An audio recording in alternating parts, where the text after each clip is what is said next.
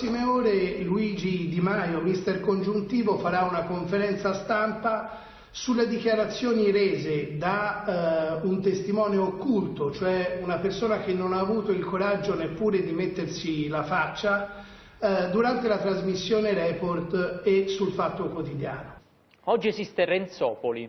che è un sistema di potere che probabilmente dal punto di vista giudiziario non è neanche codificato, in cui astrattamente la tangente potrebbe essere l'unità.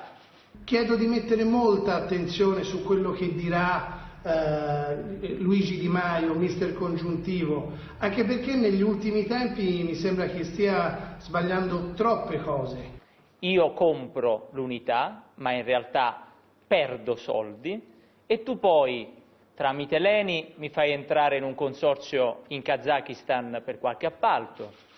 tramite un viaggio in Iran insieme a Eni, insieme ad Enel, insieme a Ferrovie dello Stato, ti porti anche l'amministratore delegato dell'unità che rappresenta il gruppo Pessina,